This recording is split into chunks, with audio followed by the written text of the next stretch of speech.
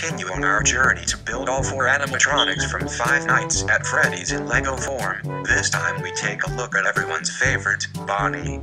Before building I would like to note that if you have any of these pieces besides the nose or teeth in lavender or light shade of blue, I highly recommend you use it. The Bonnie in the video is light gray. I'd also like to note that compared to the others, Bonnie has a very similar build to Freddy due to their similar appearance in the game. So anyway, let's begin.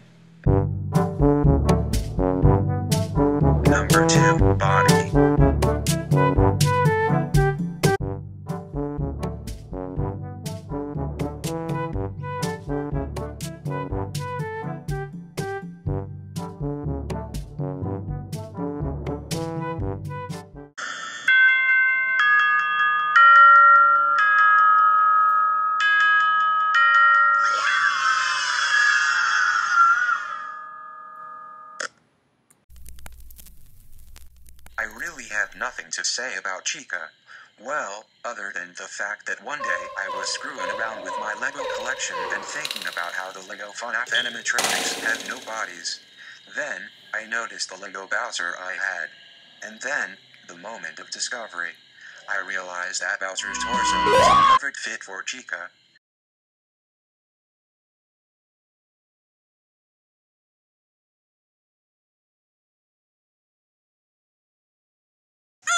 But that doesn't have to do with jack shit. Let's go.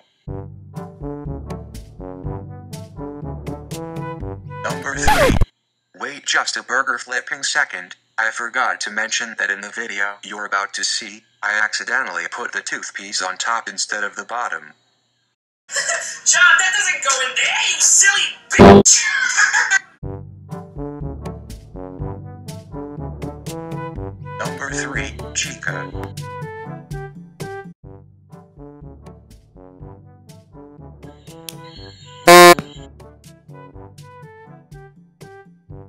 Yeah.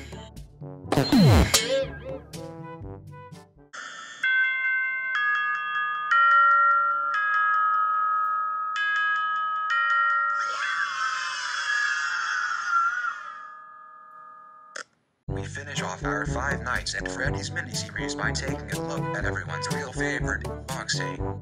Sorry, Bonnie, you're just no good anymore.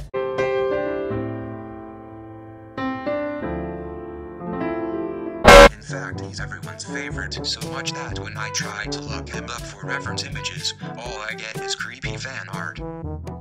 Most of it is cute, some of it is extremely scary, and almost all of it is either Foxy as a human or Foxy as a girl. Gross.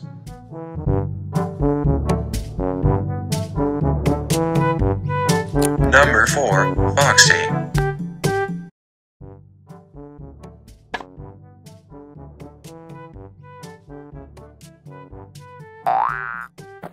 Oh, shit! And that's it. You can go now.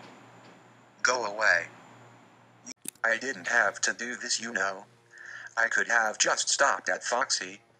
But everyone keeps commenting. And Freddy, and Freddy, where's Golden Freddy?